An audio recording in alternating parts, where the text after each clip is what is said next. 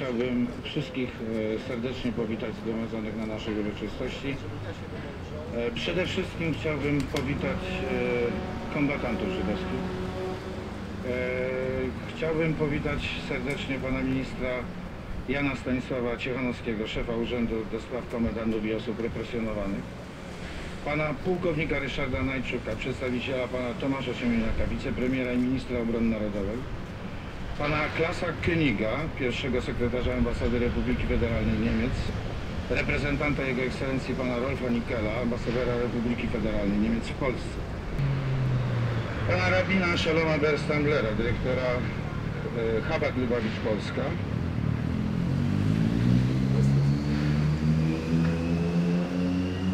Rabina Stasa Wojciechowicza. Księdza biskupa pułkownika Mirosława Wolę, ewangelskiego biskupa wojskowego. Księdza komandora Janusza Bąka, który reprezentuje biskupa Józefa Błystka, biskupa polowego Wojska Polskiego. Ta nasza mikrospołeczność żydowska ma tylu przyjaciół i możemy wspólnie obchodzić 72. rocznicę śmierci Pawła Frenkla, y, szefa Żydowskiego Związku Wojskowego. Proszę Państwa, Towarzystwo Społeczno-Kulturalne Żydów w Polsce jest największą organizacją polskich Żydów działającą już 65 lat. Jesteśmy w prostej linii y, potomkami komitetów żydowskich, które zawiązywały się tuż po wojnie. Kiedy społeczność żydowska chciała pamiętać i jest depozytariuszem pamięci o tru, trudnej tragicznej historii polskich Żydów, zwłaszcza tego, co się działo w czasie II wojny światowej, czyli o zagładzie. Czujemy się odpowiedzialni, każde pokolenie, również to, które ja reprezentuję oraz to młodsze, które reprezentuje Stowarzyszenie Echaim, chcemy pamiętać, musimy pamiętać, jest to nasz obowiązek. Przy tej okazji chciałbym powiedzieć, że ta tablica od kilku lat tutaj jest zainstalowana, ale chcemy przypominać o tych działaczach Żydowskiego Związku Wojskowego i o tym, co robili, dlatego że w pewnym sensie, w dużym cudzysłowie, e, można ich porównać trochę do, do historii żołnierzy wyklętych. Dlaczego? Ponieważ narracja historyczna, która przez długie lata obowiązywała w latach powojennych, e, trochę zapomniała o tych żołnierzach. E, Było to wynikiem takiej, a nie innej oczywistej historii i władz PRL-owskich, a i potem bardziej pamiętano o tych, którzy podjęli walkę jako bunt, jako mm, działacze buntowscy i mówimy bardziej o tej lewej stronie politycznej. Dla nas ważne jest, że byli bohaterowie, którzy z bronią w ręku chcieli walczyć. Żołnierze Żydowskiego Związku Wojskowego rzeczywiście w dużej mierze byli żołnierzami. Byli żołnierzami, którzy służyli w Wojsku Polskim jako żołnierze i oficerowie. Byli też po prostu świadomymi tego, jak się prowadzi walkę, jak można dobrze się bronić jak zadać wrogowi najmocniejszy cios. I mam nadzieję, że dziś y, w tak uroczysty sposób postaramy się upamiętnić chwałę tych bohaterów i że każdego roku stanie się to pisane w kalendarium e, wydarzeń e, pamięci historycznej polskiej i żydowskiej. Żydowski Związek Wojskowy, wbrew temu, e, co historiografia dotychczas nauczała, jeżeli w ogóle o nim wspominała, był organizacją nie ideologiczną, był organizacją militarną, którą założyli e, profesjonalni oficerowie i podoficerowie Wojska Polskiego narodowości żydowskiej. E, Prawda jest, że większość tych ludzi jednocześnie przed wojną należała do Bejtaru. To była prawicowa organizacja sionistyczna, ale organizacja jako taka została założona na zasadach militarnych. W organizacji również była znaczna grupa ludzi o poglądach lewicowych, przystąpili jednak razem z bejtarowcami i z religijną, z grupą religijnych Żydów, była w tym cała Jeszywa Bresławska, wstąpili do tej organizacji, ponieważ to była jedyna organizacja, która dysponowała dużą ilością broni. Dlatego, że ta lewicowa organizacja rząd posiadała jedynie ograniczoną ilość rewolwerów i wisów, co stanowiło e, żadną, e, że tak powiem, osłonę przeciwko nacierającym e, zgrupowaniom wojsk niemieckich, żandarmerii i również SS i również doborowych oddziałów ukraińskich. Przez trzy dni walczyli na placu Moranowskim. Również w lasach Michali, Michalina Józefowa była dwudniowa walka oddziału, który przedostał się w tamte tereny w lasach. Część tych ludzi się uratowała. O nich zapomniano. Nieprawdą historyczną jest, że oni wszyscy zginęli. Tylko prawda jest taka, że po wojnie byli prześladowani, poszukiwani tak jak żołnierze AK przez NKWD, natychmiast po, już w 1945 roku przeważnie wyemigrowali do Stanów Zjednoczonych, Argentyny i Australii i kilku spośród nich wyemigrowało do Izraela. Organizacja ta czerpała swoje korzenie w organizowanej w Polsce krucjacie, która miała wylądować w 1940 roku w brytyjskiej Palestynie. Zew Żabotyński chciał, chciał z- zbrojnie opanować Palestynę. 50 tysięcy bejtarowców miało w 1940 jako siła wojskowa wylądować w Palestynie. Realnie była pełna szansa, gdyby Polska, gdyby Polska nie została okupowana w 1939 roku, że ta dobrze zorganizowana siła opanowałaby Palestynę. Jeżeli chodzi o, o, Frankla, który był dowódcą wojskowym e, ZZW, on wydostał się przez tunele, były trzy tunele podziemne z getta. On wydostał się przez tunel e, przy placu Muranowskim, wydostał się na teren budynku, który zna- znajdował się wówczas poza gettem. Niestety główną sprawą e, tych ludzi było 20 parę osób z tego działu wojskowego było to, że nie mieli zaopatrzenia, nie mieli żywności, nie mieli wody. I po trzech miesiącach po prostu e, strasznych cierpień oni postanowili wyjść na ulicę, zaczepić oddziały niemieckie i rozpocząć walkę. Przez wiele godzin toczyła się ta zbrojna walka. Wszyscy co do jednego zginęli. Z bronią w ręku. Tak jak przystało na żołnierzy. Wielce Szanowni Państwo, chciałem serdecznie podziękować za zaproszenie na tę uroczystość. To wielki honor. Trzy lata temu byłem również obecny przy odsłanianiu tej przepięknej tablicy, która upamiętnia bardzo ważny element historii tego miasta, naszej kochanej Warszawy. Upamiętnia walkę obywateli polskich narodowości żydowskiej o godność. W tych najtrudniejszych czasach, wtedy kiedy niemieccy socjaliści narodowi postanowili skazywać sobie kogo chcieli na zagładę, na śmierć i ci ludzie stanęli do walki. Oddajemy dzisiaj hołd wszystkim tym, którzy zginęli, którzy umarli, którzy przez to, co tu się działo, przez tę rozpętaną wojnę, stracili życie. Oddajemy hołd wszystkim tym, którzy stanęli do walki, tym, którzy polegli, tym, którzy dawali świadectwo po wojnie o tym, że ta walka w ogóle miała miejsce. To jest również uroczystość poświęcona Żydowskiemu Związkowi Wojskowemu, więc żołnierzom, żołnierzom polskim, czy to narodowości żydowskiej, czy pochodzenia żydowskiego. I to nie jest pewnie przypadek, że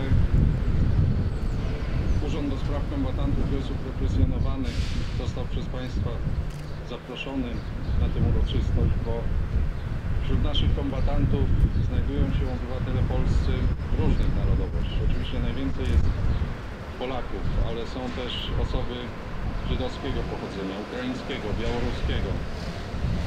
I jest rzeczą oczywistą, że wszystkim im dziękujemy za bohaterstwo, wszystkim im dziękujemy za walkę, za to, że oni tworzą ten piękny symbol wysiłku obywateli polskich, którzy walczyli o wolność podczas II wojny światowej. Ale szczególnie dzisiaj upamiętniamy polskich Żydów, Polaków pochodzenia żydowskiego i upamiętniamy tego bohatera, tego dowódcę, który, który jak można przeczytać w literaturze, był uosobieniem tego słowa hadar, godność. Bohatera, który walczył tak, że jest przykładem poświęcenia dla sprawy, dla swoich rodaków i pokazał oprawcom, że tacy ludzie jak on nigdy nie pod, pogodzą się z takim barbarzyństwem, z takim deptaniem podstawowych, przynależnych każdemu człowiekowi praw. Niech pamięć o tych naszych bohaterach nigdy nie zaginie. Wielce Szanowni Państwo, zgromadziliśmy się w tym miejscu, aby uczcić pamięć Pawła Frenkla oraz innych członków żydowskiego ruchu oporu. O samym Pawle Frenklu wiemy niewiele, ale wiemy, że był członkiem Betaru, jednym z założycieli oraz późniejszym dowódcą Żydowskiego Związku Wojskowego. Po wybuchu powstania stał się głównodowodzącym obrony Placu Muranowskiego. Podczas brawurowej walki bojownicy nie tylko się bronili, ale także zadawali bolesne ciosy o wiele silniejszemu przeciwnikowi. Chociaż z punktu widzenia militarnego ich walka skazana była na klęskę, to walczyli do końca, czego dowodem jest bohaterska walka oraz śmierć w tym miejscu. W chwili śmierci Paweł Frenkel miał zaledwie 23 lata. Odpowiedni opis tego bohatera dał nam Dawid Wdo- Wdowiński, który mówi Frenkel miał ciemną karnację, delikatne rysy twarzy, był szczupłej budowy ciała i miał dobrą prezencję. Jako młody członek Betaru dał się poznać jako obiecujący dowódca ze skłonnością do niezależnego działania, będąc, będący rzadko spotykany, spotykanym połączeniem stali i żagli. Wdowiński powiedział także o, o Pawle Frenklu jeszcze tak. Był jednym z najpiękniejszych, najbardziej szczerych i skromnych postaci, jakimi było spotkać w ciągu mojego długiego życia. Był uosobieniem Hadar, czyli godności. Bardzo się cieszę, że mogę tutaj z Wami być. Że mogę razem z Wami uczcić pamięć Pawła Frenkla i jego towarzyszy broni. Jestem tutaj jako chrześcijanka, a chrześcijanie czczą pamięć osób, które nie żyją, wspominając ich i dziękując Bogu za to, że żyli i za świadectwo, które swoim życiem złożyli. Chrześcijanie są również ludem księgi. Chciałabym przeczytać kawałek psalmu 103. On wie, jakim tworem jesteśmy. Pamięta, żeśmy prochem. Dni człowieka są jak trawa, tak kwitnie jak kwiat polny. Gdy wiatr nań powieje, już go nie ma i już go nie ujrzy miejsce jego. Lecz łaska Najwyższego od wieków na wieki dla tych, którzy się go boją, a sprawiedliwość jego dla synów ich synów. Dla tych, którzy strzegą przymierza jego i pamiętają o wypełnianiu przykazań jego. Myślę, że chrześcijanie, którzy są tutaj obecni dzisiaj, są nie tylko przyjaciółmi Żydów, którzy czczą pamięć poległych. Bowiem historia chrześcijan i Żydów jest złączona od początku chrześcijaństwa. Jesteśmy rodziną i jesteśmy tutaj jako członkowie rodziny. Chrześcijanie i Żydzi są nawzajem za siebie odpowiedzialni, jako ta rodzina, jako ludzie, jako dzieci jednego Boga. Dlatego byliśmy również w czasie wojny, byliśmy w czasie powstania z Wami, jesteśmy i teraz. Dziękuję bardzo. Szanowni Państwo, historia Polski to w olbrzymiej większości historia pokojowego współistnienia Polaków, obywateli Polski, narodowości polskiej i żydowskiej. Lata okupacji hitlerowskiej to lata wspólnych cierpień i upokorzeń, ale także lata wspólnej walki o odzyskanie wolności i godności. W związku z 72. rocznicą śmierci Pawła Frenkla oraz towarzyszy broni, żołnierzy i dowódcy Żydowskiego Związku Wojskowego wyrażam nadzieję, patrząc w przyszłość, że jako dzieci jednego Boga będziemy mogli żyć w pokoju, darząc się wzajemnym szacunkiem i życzliwością. Ksiądz Piotr Walewski, proboszcz parafii Wszystkich Świętych w Warszawie. Ja ze swej strony przyłączam się do hołdu składanego dzisiaj pamięci pa Pawła Frenkla i jego towarzyszy, prosząc dobrego Boga o wieczną szczęśliwość dla nich i łaskawość dla nas. Dziękuję. Szalom i pozdrawiam. Wysyłam moje najserdeczniejsze życzenia dla organizatorów i uczestników uroczystości. Brawo za Wasze zaangażowanie i za wyciąganie wniosków z historii ludzkości.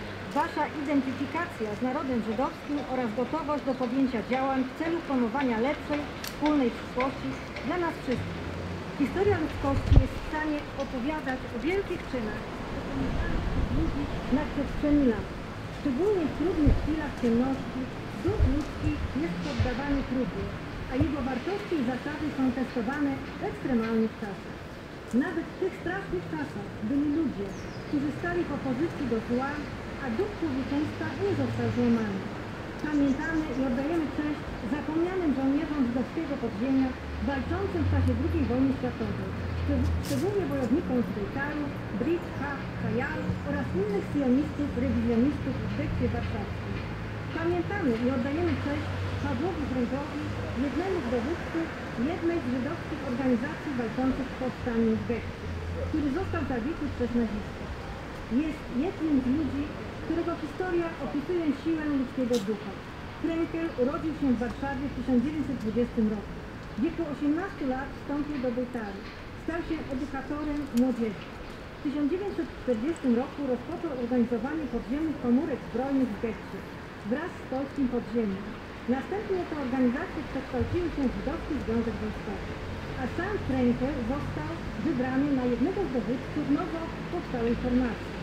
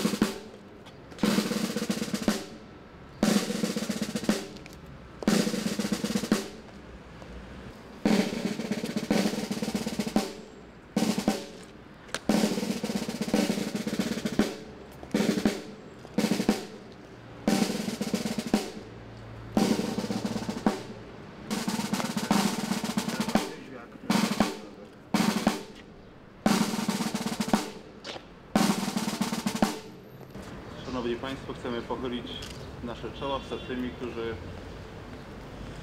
ośmielili się powiedzieć nie wobec niemieckiego faszyzmu, nacjonalizmu, yy, powiedzieć nie przeciwko brutalnemu niszczeniu ich godności, przywileju ich prawa Boga, którym nam ofiarował podstawowego prawa człowieka, czyli prawa do miłości.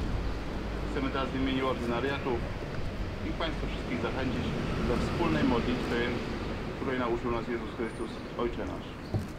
Ojcze nasz, który jesteś w niebie, święć się imię Twoje. Przyjdź królestwo Twoje, bądź wola Twoja, jako w niebie, tak i na ziemi.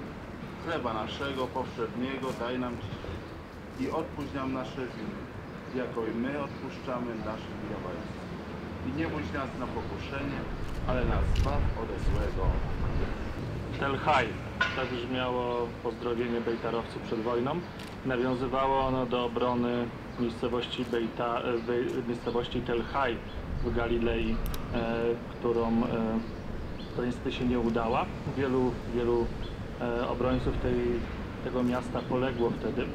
E, tutaj mamy miejsce, które trochę też nawiązuje do tej historii Bejtaru, czyli właśnie też miejsce, gdzie polegli bojownicy Bejtaru. Jedną z tradycji e, religii żydowskiej wspominania zmarłych jest zmawianie psalmów. Psalm 23.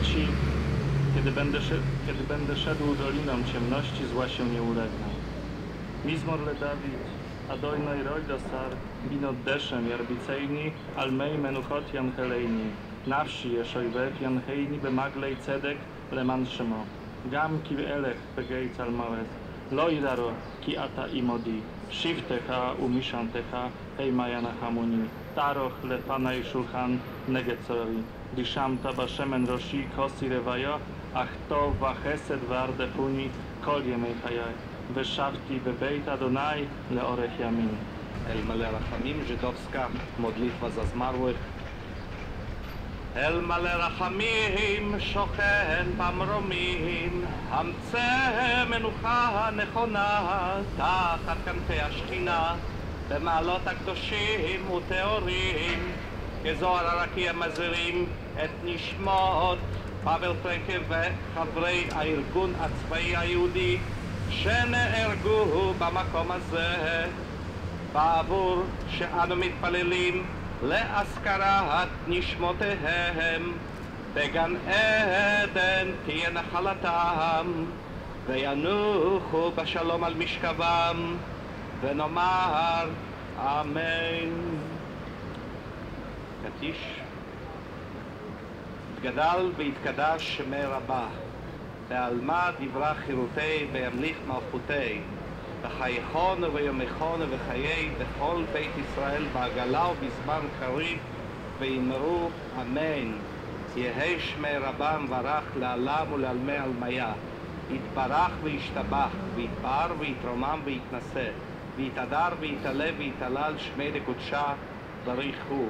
לעילה מן כל ברכתה ושירתה, תושבחתה ונחמתה דאמירן בעלמה ואמרו אמן. יהא שלמה רבה מן שמיא וחיים עלינו ועל כל ישראל ואמרו אמן.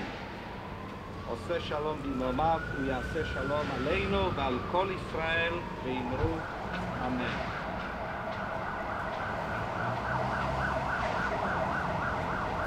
Jeszcze raz dziękuję wszystkim e, szacownym gościom, dziękuję panu ministrowi, dziękuję kapelanom, dziękuję rabinom, dziękuję współorganizatorowi, dziękuję wszystkim przybyłym e, przedstawicielom organizacji narodowych, religijnych, kościołów i wszystkim tym, którzy zechcieli wziąć udział. Dziękuję również asyście wojskowej pod dowództwem pana porucznika. Bardzo jesteśmy wdzięczni wszystkim przyjaciołom, którzy również zechcieli przybyć na naszą uroczystość. Dziękuję Państwu serdecznie.